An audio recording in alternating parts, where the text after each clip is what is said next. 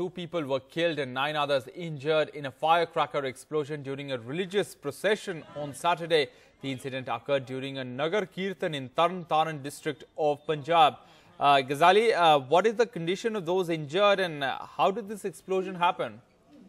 Yeah, Rohit, actually, uh, this Nagar Kirtan, this procession was going from Tarn Taran in one of the villages, and in one of the trolley, there were some young people who were sitting on it, and they were carrying some firecrackers as it is normally done in most of the religious processions in Punjab. And, and, and one of the uh,